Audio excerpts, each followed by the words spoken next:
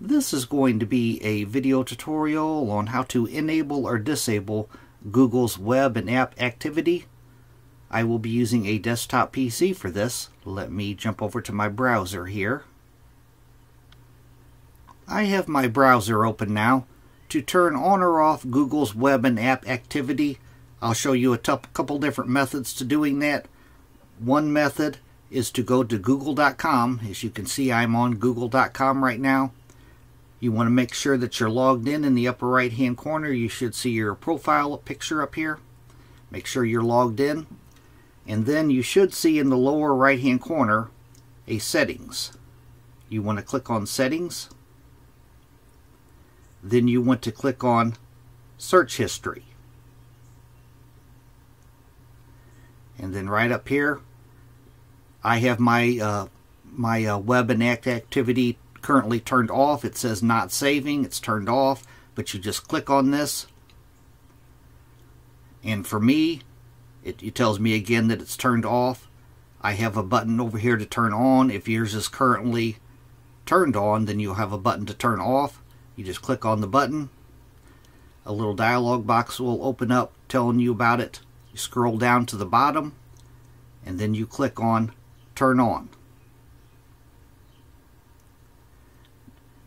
Now a little dialog box has uh, popped up telling me that it's turned on now. I'm going to click on got it. And to turn it off, I just follow the same steps. I'd click on manage. Right up here it says saving activity. I'm going to click on saving activity. Then I'm going to click on turn off to turn it back off. I'm going to click on turn off again. Then I'm going to go down to the bottom and I'm going to click on Got It. Now it says your activity hasn't been deleted. It's been turned off but not deleted. You could delete your activity by clicking on Delete Activity, but I'm going to click on Got It.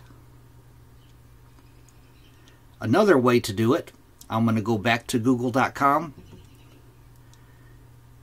I'm in I'm on google.com and I'm logged into my Google account in the search bar here, you want to type in myactivity.google.com. I'm going to hit enter. And the very top thing here, welcome to my activity, Google. I'm going to click on that. And then under my Google activity, right here, web and app activity, you can see mine is currently turned off. I'm going to click on that. Once again, it tells me my uh, Google's web and app activity is turned off. Off to the right here, it has a button. Being mine's turned off, my button says turn on. If I click on that, turn on, it'll give me a little dialog box telling me about the web and app activity. Scroll to the bottom, click on turn on. And it tells me that the setting is now turned on. I'm going to click on got it.